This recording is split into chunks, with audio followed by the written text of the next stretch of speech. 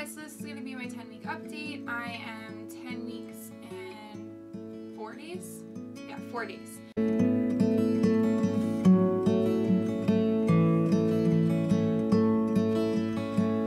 I'm sorry I'm recording this video late. Um, it is a few days late, but we were just really busy with the weekend and it being Mother's Day yesterday and all that good stuff. So again, this video is going to be late. Um, I really do plan on these videos to a state where I can get them up every single Friday.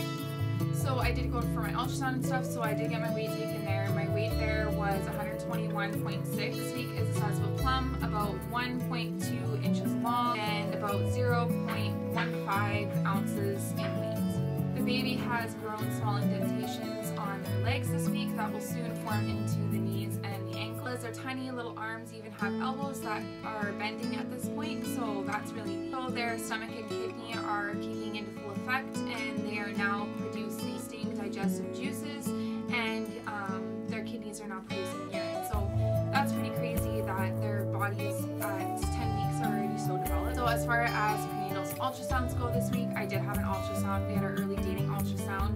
It wasn't a long ultrasound. Um, it was actually probably only like 10 minutes long for the actual ultrasound, so we weren't even in there very long. Had our ultrasound on on Thursday, May 7th, so this past Thursday that just passed um, and that was at 2 o'clock in the afternoon. Fortunate enough to have Faith come with us, but unfortunately Tay had school, so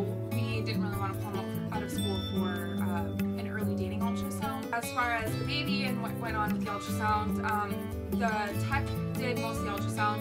They did have the doctor come in and he explained that there's no bleeding or clotting in my uterus, which is great.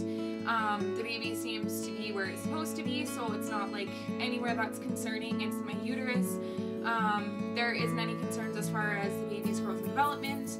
Um, although the baby is um, the baby is measuring a few days behind, but because it's only a few days behind, they're not going to change my due date, and it doesn't really change anything. So um, the possibilities, like they said, is I could have just ovulated a little bit later and not known it. But irregardless, um, I am measuring a few days behind, which kind of does make sense because I did get a pretty faint positive um, when I took my pregnancy test. So I would imagine that with me having a faint positive and that kind of stuff, that I could have um, possibly gotten pregnant a little bit later, and maybe that's why the positive wasn't very strong. Also stated that the placenta look seems to be growing perfectly, and there's no concerns with the placenta. We also got to hear the heartbeat, which was really cool. Um, the tech actually got Faith to stand up and put her hand on her heartbeat, and then she started playing the heartbeat, like letting us hear the heartbeat.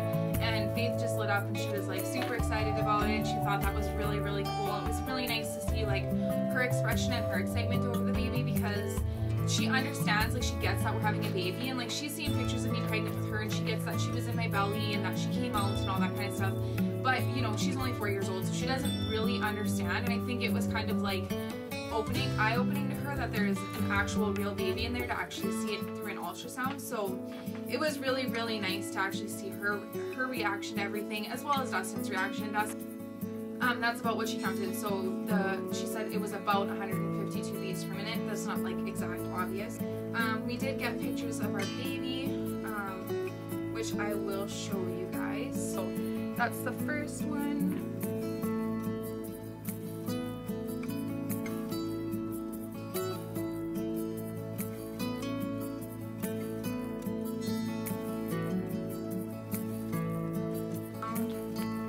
This is the baby's heart rate, as well as the baby obviously inside my uterus. But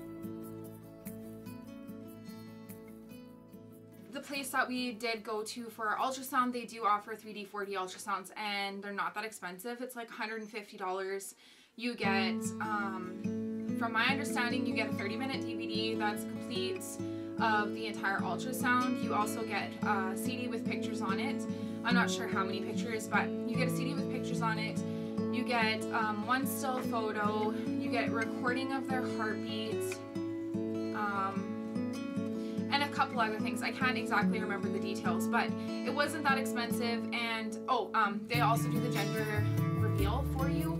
Um, so we were thinking that we are actually going to go that route this time because this is our last baby. Symptoms this week, my nausea is still kicking my ass, but the vomiting has basically subsided. I think I had one nauseous day this week, so I haven't done too bad and it's been nice to have the vomiting like kind of still definitely very sensitive to smell and the kitchen is definitely my arch nemesis. I do not like the kitchen. It sucks.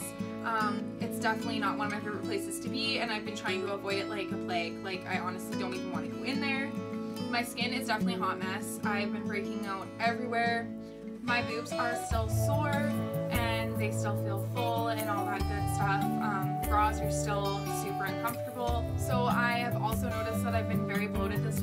like a lot more bloated. I said that in previous vlogs. Um, I've been a lot more bloated this time around than I was this early on. Like I probably wasn't this bloated, like not noticeably bloated with either of my pregnancies until I hit like at least the 14 to 18 week mark. I'm also very exhausted all the time. I have such a lack of energy. I'm trying to like push through it and still get everything done that I need to get done, but it's definitely been rough. So as far as cravings go this week, I'm still craving fruit, um, especially like watermelon. Like, oh my god, watermelon is delicious. Grapes, strawberries, anything that you I can basically get my hands on. Bananas are a great snack. Um, fruit has been like my savior through the beginning of this pregnancy. Um, I also have been obsessed, like I've said in previous vlogs, I've been obsessed with um, raw vegetables. So cucumber and baby carrots are like my ultimate favorite right now. Chicken noodle soup has definitely been my hero this week. Um, it's been helping me get through my knot. Anything with cheese has definitely also been a hit with me. Anything with cheese, doesn't matter what it is.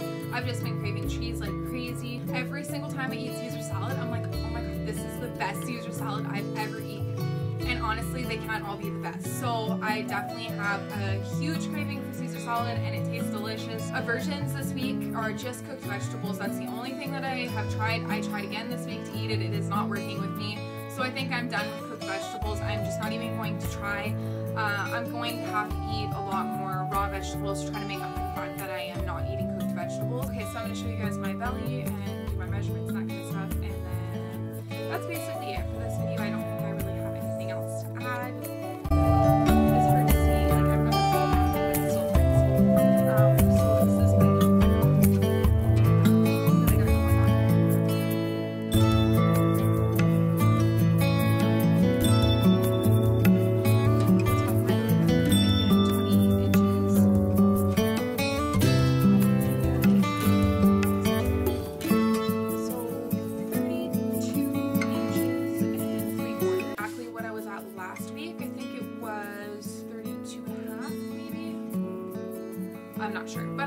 have grown since last week. Um, I feel it and it's almost like relieving to measure yourself and like see yourself getting bigger or like, you know, see that like measuring tape is getting, like the numbers are getting higher and it's not just my imagination. So don't forget to watch out. I will try to get it up on Friday.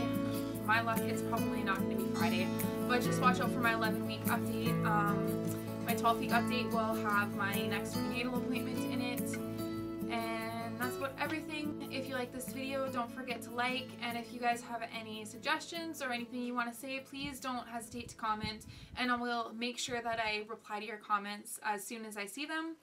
Um, that's basically everything for this week, though. I don't think I missed anything, so I hope you guys have a wonderful week, and I will see you guys for my 11-week update.